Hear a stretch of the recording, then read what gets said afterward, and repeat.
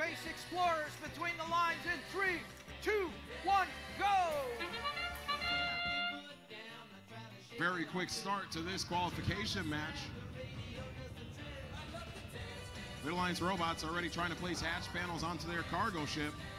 We're going to find two of the Blue Alliance robots against the far side rocket ship for their side of the field. Team 1986 successfully placing it as the drivers now have clear visibility onto the field.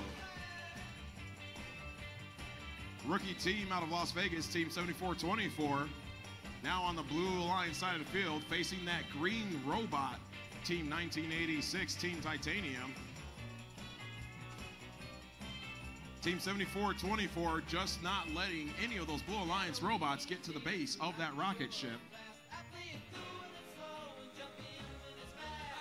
Team 6444, the Chihuahua team, now on the defensive position for the Blue Alliance over on the red side of the field.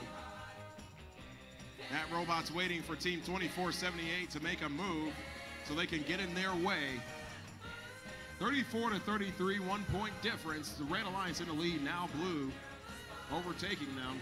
Less than 80 seconds left to go in the match. Westwood Robotics with another cargo in the ship for the Red Alliance. Team 2928, wonderful team out of Washington, continuing to do work on the Blue Alliance cargo ship, unimpeded so far. Follow-up cargo now trying to be placed by 1986 of the Blue Alliance.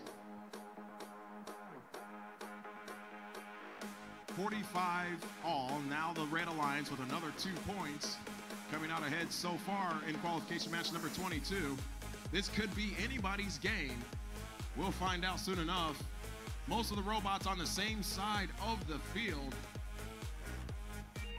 Team 2551 with yet another score in the cargo for the Red Alliance. And with that, the Reds cargo ship has now been completed and is ready for liftoff in T minus 20.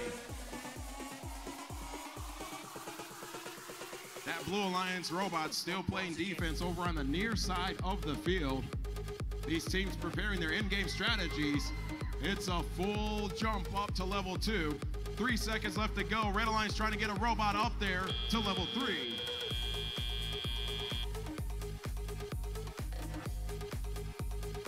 Boost into the skies first with a win of 76 to 69. Both alliances will get one rank point for the half climb at the end of the match. Qualification match number 23 coming your way in just